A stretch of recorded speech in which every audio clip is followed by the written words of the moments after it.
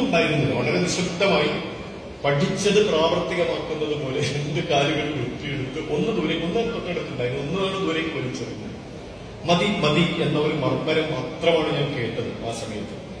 അങ്ങനെ അത് തിരിച്ചു പോവാണ്. പോയതിനു ശേഷം ഞാൻ മെല്ലെ പതുക്കെ മറിഞ്ഞ് മലർന്ന് കിടന്ന് എഴുന്നേൽക്കാൻ ശ്രമിച്ചപ്പോൾ എനിക്ക് കഴിഞ്ഞില്ല. ആ സമയത്താണ് ഞാൻ കഠിനമായ വേദന അനുഭവിച്ചത്.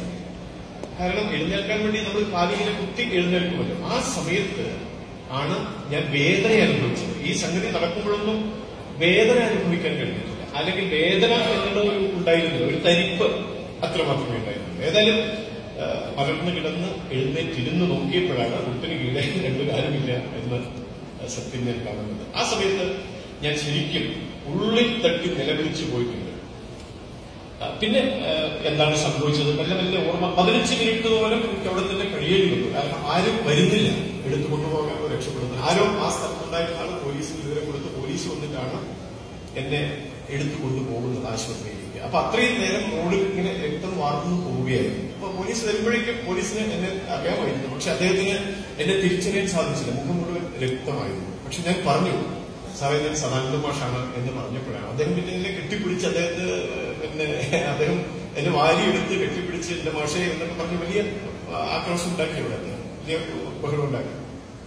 ഏതായാലും അദ്ദേഹം എന്നെ ആശുപത്രിയിലേക്ക് കൊണ്ടുപോയി. ആ കൂട്ടത്തിൽ ഈ വെട്ടിമാറ്റപ്പെട്ട ബാക്കി ഭാഗത്തിന് വേണ്ടി പോലീസുകാർ കുറച്ചു നേരം അവിടെ തെരഞ്ഞു നോക്കി.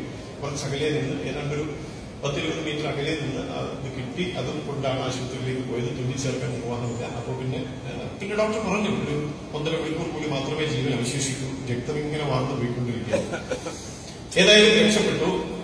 വെള്ളയിൽ കടപ്പുറത്തുള്ള മുപ്പതോളം സംഘ സ്വയംസേവകർ ആ സമയത്തേക്ക് മെഡിക്കൽ കോളേജിൽ റെഡിയായിട്ടുണ്ടായില്ല. രക്തം തരാൻ വേണ്ടി.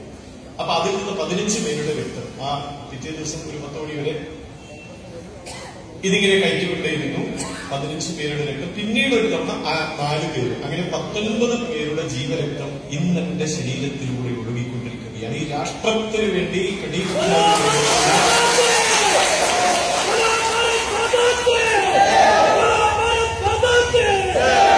നമ്മുടെ സഹോദരങ്ങളുടെ പത്തൊൻപത് പേരുടെ രക്തം ഇന്ന് എന്റെ ശരീരത്തിലുണ്ട്. പിന്നെ ഞാൻ അങ്ങനെ ഇരുപത് ബലമാണ് എനിക്കിന്നുള്ളത് അതാണ് എന്നെ മുന്നോട്ട് നയിക്കുന്നത് ഇരുപത് പേരുടെ ബലം ഒരുമിച്ച് ചേർത്താൽ എന്താണോ അതാണ് ഈ നിൽക്കുന്ന സദാനന്ദ ഈ ഇരുപത് പേരെന്ന് പറയുന്നത് ദൈനംദിനം സംഘശാഖയിൽ പോയി നമസ്തേ സദാവത്സലേ മാതൃഭൂമേ എന്ന് ചൊല്ലുന്ന പതത്വേഷക്കായോ നമസ്തേ നമസ്തേ നമസ്തേ എന്ന് ചൊല്ലുന്ന എന്റെ ശരീരം അമ്മയുടെ തൃപ്പാദങ്ങളിൽ വീണുപോയിക്കൊള്ളട്ടെ എന്ന് ദൈനംദിനം പ്രതിജ്ഞ ചെയ്യുന്ന സ്വയംസേവകരുടെ രക്തമാണ് ഈ ശരീരത്തിലുള്ളത് എന്നതാണ് ധൈര്യം? അതാണ് ആത്മവിശ്വാസം.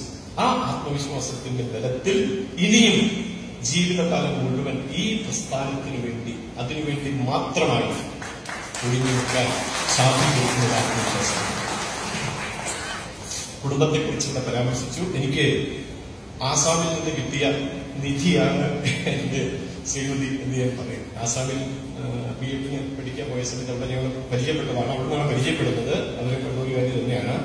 സംഘപശ്ചാത്തലമുള്ള കുടുംബത്തിൽ നിന്ന് വരുന്നതാണ്. ഏത് കാര്യത്തിലും എന്നോടൊപ്പം നിന്നുകൊണ്ട് എല്ലാ പിൻബലവും നൽകുന്ന ഒരു അനുഭവിക്കുകയാണ് വാസ്തവത്തിൽ ഇനിയൊരു ജന്മമുണ്ടെങ്കിൽ അപ്പോഴും കൂടെ ഉണ്ടാകണം.